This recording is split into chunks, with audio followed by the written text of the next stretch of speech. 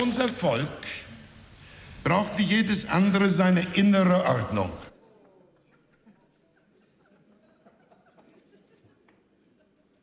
Ich halte das bestehende parlamentarische System für unbrauchbar.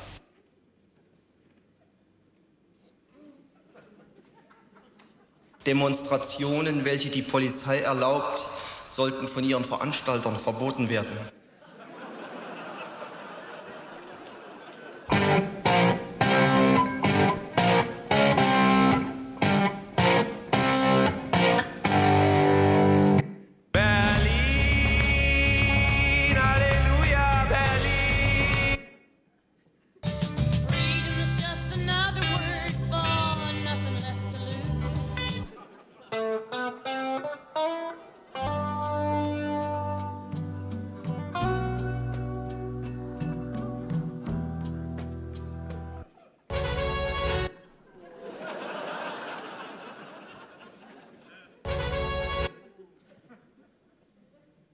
Habe ich selbst gesehen.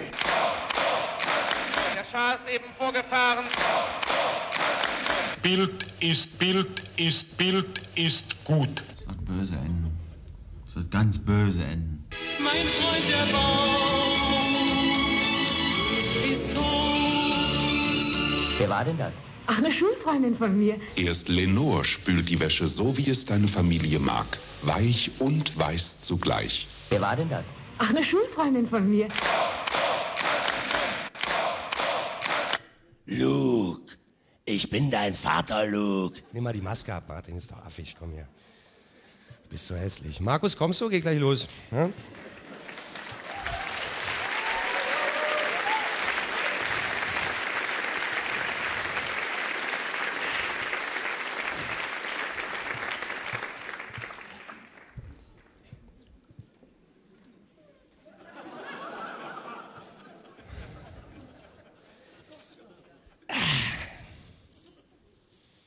Ja, schönen guten Abend.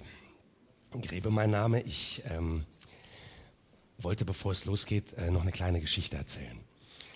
Und zwar ist das jetzt länger her. Das war vor 40, vor 20 Jahren war das. Das war ähm, 1989, um genau zu sein.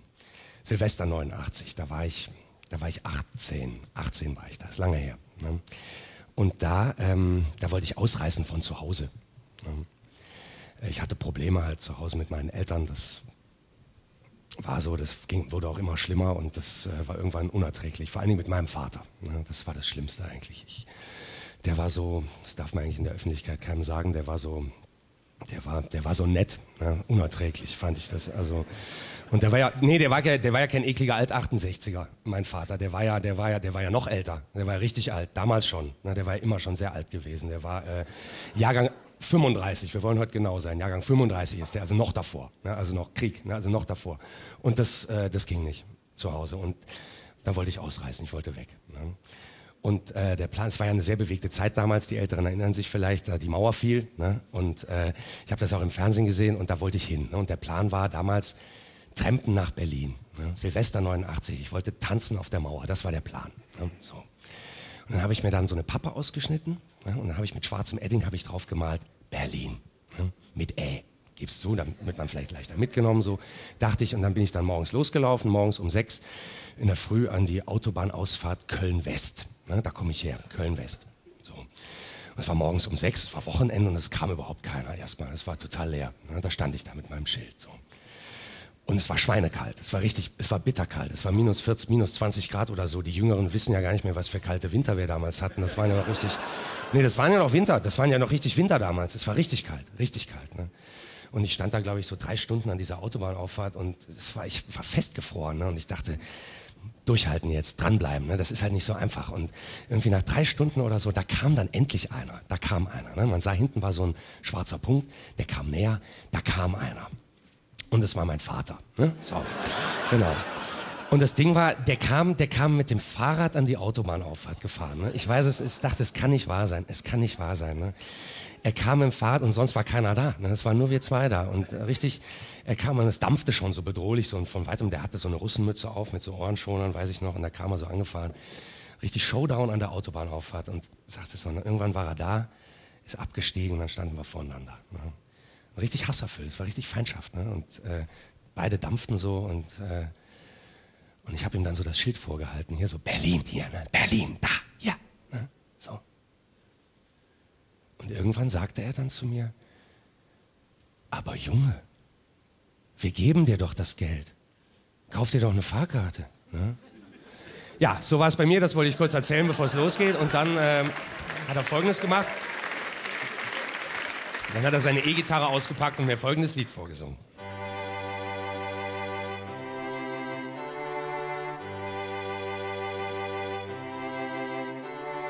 Liebe Kinder, es gab ein Jahr, das eine Katastrophe war. 1968. Liebe Kinder, seitdem geht's abwärts. Die 68er sind an allem schuld. Vorher waren alle Menschen froh, alle Menschen waren hetero, weil Schwulsein ja eine Krankheit war und da war keiner krank. Gott sei Dank, die 68er sind an allem schuld. Single-Partys gab's noch keine, die SPD hatte noch Ortsvereine, die Ehe hielt bis zur Beerdigung und nicht bis zur Selbstverwirklichung. Die 68er sind an allem schuld. Bei Problemen ging man nicht zum Therapeuten, man ging in die Kirche oder gleich in die Kneipe. Was ist Yoga, Yin und Yang und der ganze Dreck? Gegen ein Halleluja und ein Herrengedeck, die 68er sind an allem schuld. Wir hatten Wohlstand für alle, das Fließband rollte, Arbeit für jeden, der arbeiten wollte. Und Arbeit hatte Vati, Mutti blieb zu Haus, in der Schule ging Gewalt noch vom Lehrer aus. 1968, 1968, 1968, 1968, 1968. 1968 und da machen die da Revolution. Jetzt machen die da Revolution. Bei Vollbeschäftigung. Ich versteh's nicht. Ich versteh's nicht. Ich werd's auch nie verstehen. So gut wie damals wird's uns nie wieder gehen. Ja gut, alle waren Nazis, das war normal. Onkel Otto war Nazi und die Hildegard, das waren normale Leute mit normaler Frisur und keine ostdeutsche Jugendkultur. Die 68er sind schuld. Und dann kamen diese Langhaar-Prolos und spielten ewige Gitarrensolos. Liebe Kinder, Revolutionen sind schlechte Partys von Wachstumshormonen. 1968, 1968, 1968. 1968, 1968, 1968 und da machen die da Revolution. Jetzt machen die da Revolution bei Vollbeschäftigung.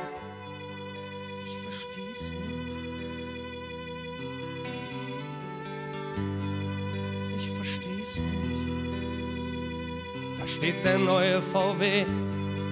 Ich versteh's nicht. Der Kühlschrank ist von AEG.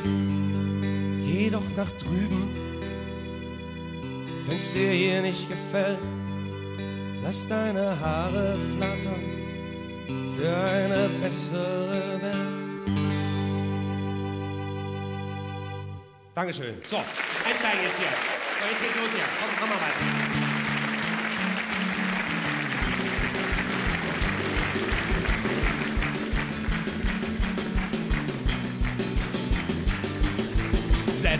In die Zeitmaschine und fahr. Setz dich in die Zeitmaschine und fahr. Wo steigen wir denn aus? In welchem Jahr? Scheißegal, Guido Knopf war immer vor dir da. Heiner Lauterbach singt gerade mit der Gussloch. Heiner Lauterbach rennt durch das brennende Dresden. Ja, der Heiner ist ja auch überall dabei gewesen. Ich bin so geil auf Geschichte. Break! I got a burning desire for Uschi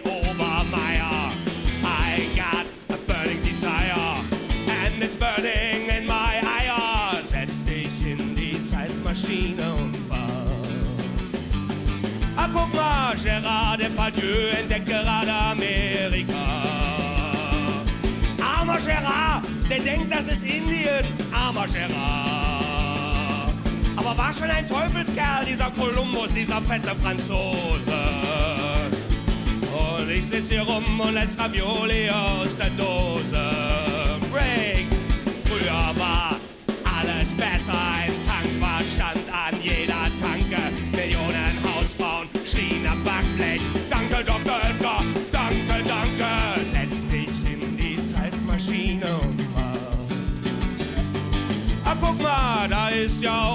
Elizabeth Cleopatra Taylor. Und Captain Ahab sagt zu Gregory Peck: Junge, ich war auch auf der Schauspielschule, ich werfe jetzt mein Holzbein weg. Früher gab's noch richtige Originale.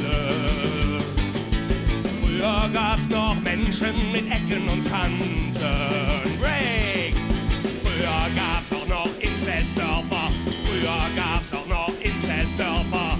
Was war die gute alte Zeit? Hasenscharten im Trachtenkleid. Ich bin so geil auf Geschichte. Und die Titanic muss immer wieder sinken. Und der Eisberg muss immer wieder im Weg rumstehen. Bring nicht raus. Ja, ja, jetzt kommt der König der Welt. Ich spule immer vor, weil der DiCaprio mir gar nicht gefällt. Break! Die Geschichte ist eine Geschichte der Sieger. Geschichte ist eine Geschichte der Sieger. Geschichte ist eine Geschichte der Sieger.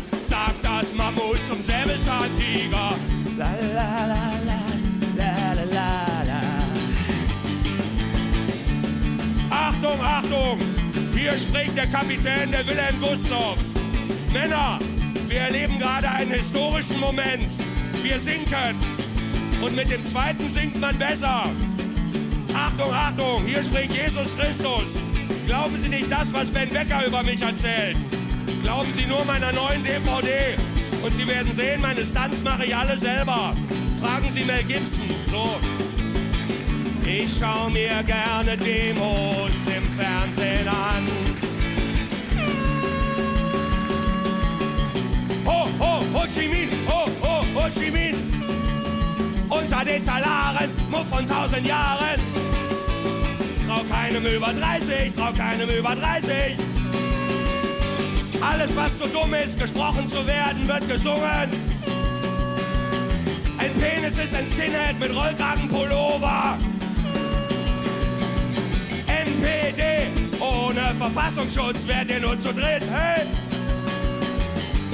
Leonardo DiCaprio, wir wollen dich ertrinken sehen, ertrinken sehen, ertrinken sehen. Aus! Ich brauch das manchmal, Entschuldigung.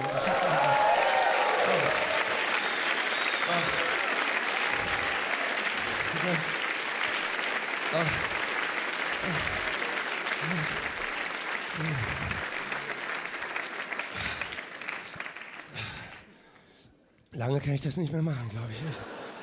Ich bin schon fix und alle. Ich weiß gar nicht, war doch früher nicht so. Ich hab, oh, wir hatten gestern Grappa-Verkostung. Ich habe irgendwie, war doch früher kein Problem. Oh Gott. Ja, äh, bevor es losgeht, äh, wollte ich kurz noch die Logistik klären. Und zwar, wenn Sie mal schauen mögen, äh, wir haben hier einen Rauchertisch eingerichtet. Ne? Ne? Das ist ein Service unsererseits, der immer sehr gerne angenommen wird, weil äh, wir haben da eine kleine Gesetzeslücke entdeckt. Ja, das Rauchen ist ja Gottlob verboten worden in öffentlichen Gebäuden, bald auch in privaten, das kommt, aber auf der Bühne ist Rauchen noch erlaubt. Ne? Weil auf der Bühne ist Rauchen keine Gesundheitsschädigung, sondern Kunst. Ne? Wenn ich auf der Bühne rauche, dann rauche ich da nicht, sondern ich spiele, dass ich rauche. Das ist die Gesetzeslücke. Das heißt, wer also eine rauchen möchte während der Vorstellung, kann das gerne tun. Der, äh, der kommt ganz unauffällig, ganz unauffällig, schleicht er sich hier ran, setzt sich hier hin, ganz unauffällig und zieht eine durch und geht wieder. Ne? Ganz unauffällig. Und er wird nicht ins Spiel mit eingebunden. Das machen wir nicht, das machen wir nicht, nein.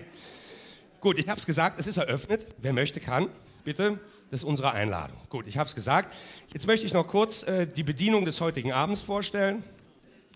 Und zwar äh, haben wir da auf der einen Seite am Schlagzeug aus der Hansestadt Rostock für Sie Martin Brauer. Bitteschön. schön.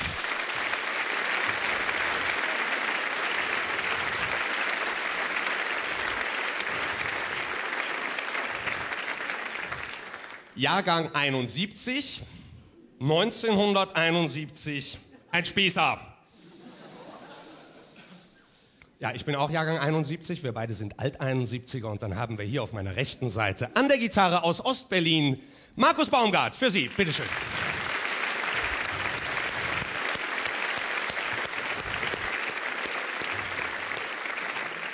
Du warst Jahrgang, was bist du? 43 bist du, ne? Wir wollen genau sein. Jahr, Jahrgang 65 bist du. Du bist 43. Jahrgang 65. Ein Rocker. Ein Haschrebell. Markus Baumgart hat sich heute früh an einem Blumentopf verhoben. Er rockt heute mit ABC-Pflaster, aber er rockt. Du rockst heute, ja? Es geht. Okay. Gut, dann, ach so, wie konnte ich das vergessen? Wir schleppen ja noch einen mit. Äh, auch wenn es schwerfällt, bitte einen Anstandsapplaus für unseren Tontechniker. Da vorne sitzt der Franz Jakob Schumacher. Da vorne. Er ist tatsächlich da.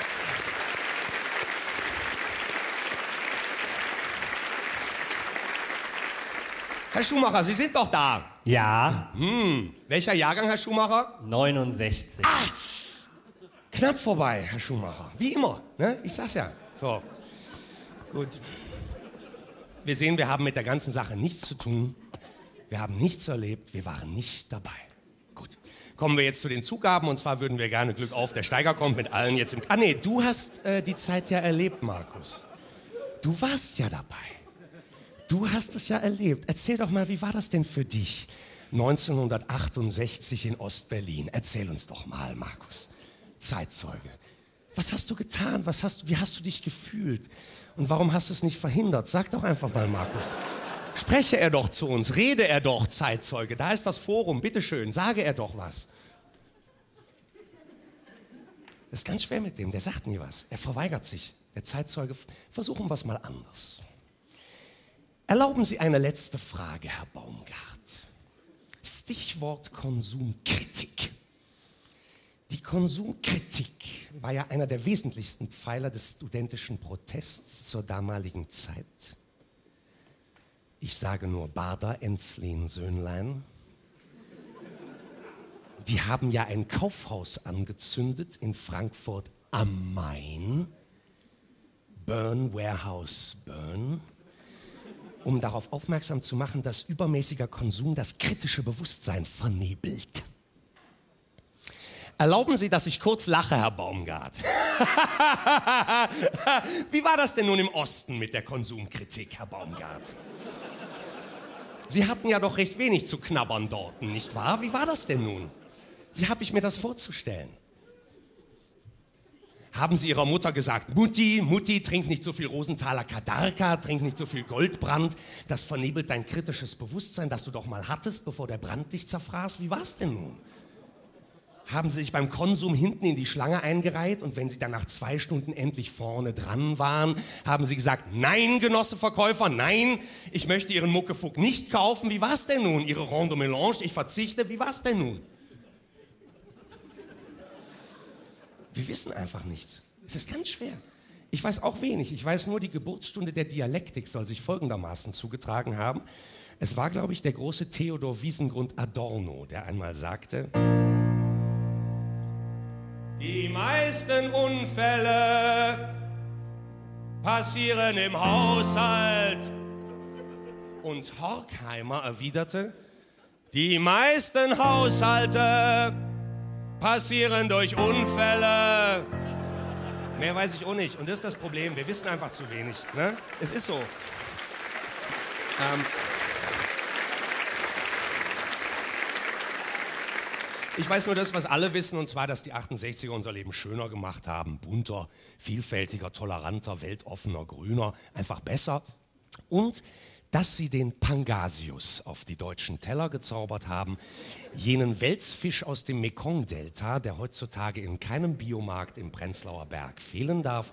Der Prenzlauer Berg ist vielleicht nicht bekannt, das ist ein Stadtteil in Berlin, der eine ganz eigene Soziokultur hervorgebracht hat, den sogenannten Bionade Biedermeier. Das ist nicht von mir, das ist, schwappt jetzt auch überall hin, das ist ein Fachterminus. Äh, und ähm, wie man sich das genau vorzustellen hat, dazu vielleicht ein Volkslied aus dem neuen Berlin. Abendbrot im Prenzlauer Berg. Vive la bourgeoisie. Der Thomas und die Heike, der kleine Philipp und die kleine Leonie. Bling, bling, bling, bling, zu Tisch, wit, wit. Es gibt Pangasiusfilet und Bio-Pommes. Bling, bling, bling, bling, zu Tisch, wit, wit. Wie heißt es doch so schön? Das Auge ist ja mit Bling, bling, bling, bling, zu Tisch, wit, wit. Patsche, Patsche, Händchen, guten Appetit. Hm. Leonie, wie war's beim Cello? Toll, Papa. Leonie, wie war's beim Voltigieren? Toll, Papa. Philipp, wie war's beim Kinder-Yoga? Philipp, wie war's beim Kinder-Yoga? Philipp, dein Pangasius wird kalt ob der Philipp heute still wohl bei Tische sitzen will. Also sprach in ernstem Ton der Papa zu seinem Sohn. Rums, Philipp, was machst du da? Ist jetzt bitte Schluss? Du darfst doch alles. Du darfst schwul sein, sehr gern sogar. Aber iss jetzt deinen Pangasius aus. Ich habe selbst erlebt, sonst würde ich nicht singen. So, und jetzt rock mich. Ja? Rock me, baby.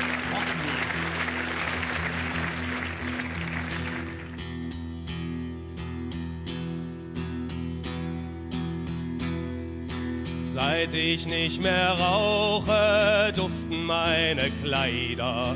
Seit ich nicht mehr rauche, duftet mein VW. Seit ich nicht mehr rauche, duften die Gardinen. Es duften die Möhrchen, es duftet das Filet. Seit ich nicht mehr rauche, kann ich wieder atmen. Ich erwache jeden Morgen und mach den Sonnengruß. Ich war auch schon im Schwimmbad, ich kann viel länger tauchen. Ich entdecke mich grad neu, ich hab irrsinnig viel Lust. Seit ich nicht mehr rauche, hab ich viel mehr Power stehe früher auf, mein Kopf ist nicht mehr schwer. Arbeit ohne Pause, dann komme ich nach Hause und bleib auch da, denn ich trinke ja nicht mehr.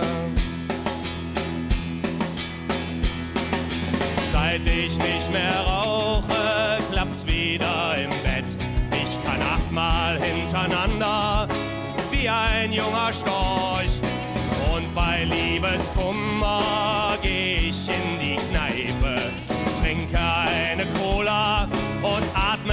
ganz tief durch. Juhu, jubidu. Juhu, juhu, jubidu. Alle Menschen werden hundert und auch die Tiere leben gern in der Gesundheitsdiktatur. In der Prärie steht ein einsames Pferd. Da steht ein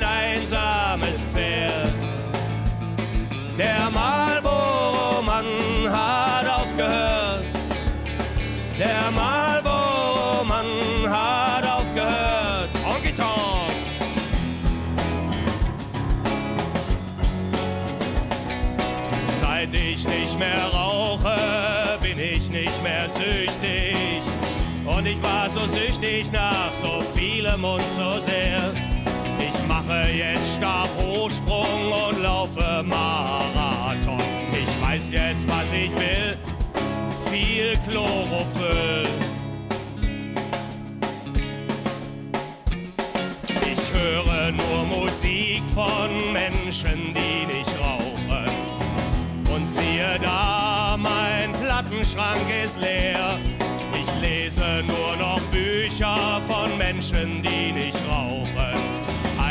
Eigentlich nur Kafka, denn der hatte TBC. Juhu,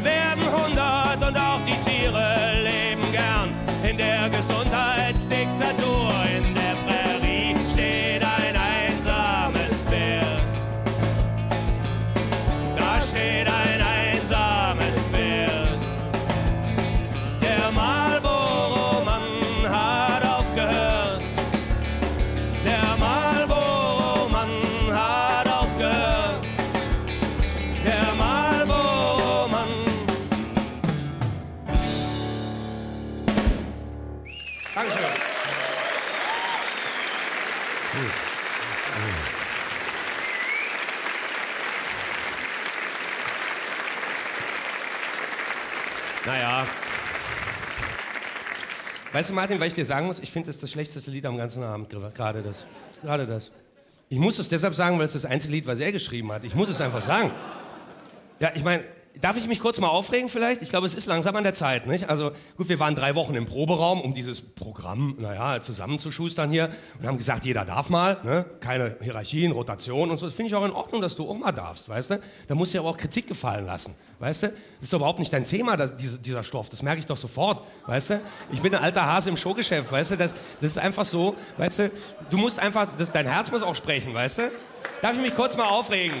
Achten Sie bitte nicht auf billige Effekte. Jetzt rede ich, ja? So. Weißt du, das sind Mätzchen, was wir hier machen. Das sind wirklich Mätzchen. Weißt du? Mätzchen. Hasen rauchen. Das sind Mätzchen, Martin. Das sind Mätzchen. Weißt du? So. Achtung. All eyes on me. All eyes on me. Bitte. Ist doch billig. Weißt du? Darf ich mich kurz... Hörst du mir überhaupt zu? Was? Pass mal auf, pass mal auf, Martin. Jetzt hör mir mal zu. Weißt du? So, folgendes, folgendes. Ich reg mich jetzt kurz mal auf. Ich glaube, darf ich jetzt, ja? Bitte. So, damals, ne, die, die, das waren keine Schwach, das waren keine Schwachmaten damals, wie wir jetzt hier. Das war, die, die sind, die haben, die waren laut, die haben Bambule gemacht, die 68er, ne? Die haben gerotzt hier, die haben was gerissen, die haben Krieg geführt. Wahrscheinlich aus Neid, ne? Weil sie gesagt haben, unsere Eltern hatten den Zweiten Weltkrieg, ne? Ja, all eyes on me. Ne? Und hatten den Zweiten Weltkrieg, da wollen wir auch einen haben. Und den haben sie gehabt. Und wir machen Mätzchen. Ne? Mätzchen. Ne? Die Anlässe damals waren total popelig. Es war total popelig. Ne? Total verglichen mit heute. 1967 gab es vielleicht 30 Arbeitslose. Ne? Da musste man sich schon sehr schlau anstellen, um damals arbeitslos zu sein. Und 1968 gab es dann plötzlich 80 Arbeitslose. Huh, und der große Rudi Dutschke trötet rum, das System ist am Ende. Der Kapitalismus hat abgewirtschaftet. 80 Arbeitslose, es ist vorbei. Ne? Und dann haben sie alle gesagt, wir werden überwacht. Wir werden überwacht. Der Schweinestaat überwacht uns. Das Schweinesystem, der gläserne Bürger. Wir